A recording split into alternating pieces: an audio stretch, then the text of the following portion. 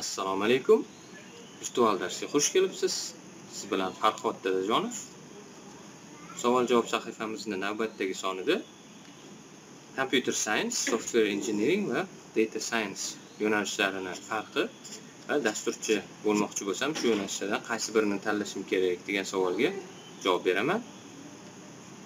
Avvalo mana shu uchala yo'nalish ham dasturlashga bog'liq bo'lgan yo'nalish. Uchalasi ham kompyuterlar bilan bog'liq. Keling ularni farqini ko'rib chiqamiz. Kompyuter science yo'nalishi bu shunaqa yo'nalishki bu yo'nalishda o'sha kompyuterlarni qanaqa ishlashi ko'proq nazariy tomonlama e, yoki matematika tomonlama o'rganiladi.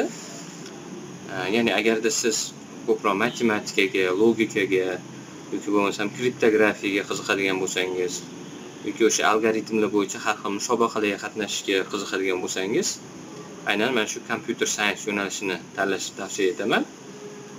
Demak kompyuter science yo'nalishida e, kompyuter texnologiyalari dasturlash e, nazariy tomonlama e, har xil ilmiy ishlar qilish tomonlama o'rganiladi. Endi software engineering yo'nalishiga keladigan bo'lsak bu amaliy tomonlama bo'ladi. Ya'ni bunda o'sha dasturlashda sdlc degan tushuncha bor. Ya'ni software development life cycle deyiladi.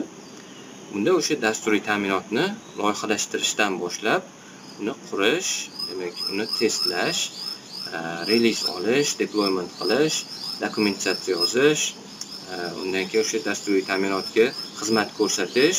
Umuman olganda mana shu dasturiy ta'minotga e, bilan bog'liq bo'lgan barcha jarayonlarni o'z ichiga qamrab oladi.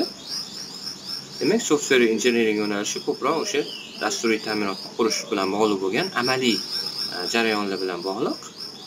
Demak agar siz dasturchi bo'lmoqchi bo'lsangiz ya'ni hayotiy dasturlarni qurmoqchi bo'lsangiz aynan software engineering yo'nalishini tanlashni tavsiya etaman. Endi data science yo'nalishiga keladigan bo'lsak e, bu yo'nalishda o'sha ulkan ma'lumotlarni yig'ish keyin ularni tahlil qilish va o'sha tahlil asosida xulosalar chiqarib ya'ni e, demak hosil bo'lgan model asosida har xil predictionlar qilish e, ishlari bajariladi.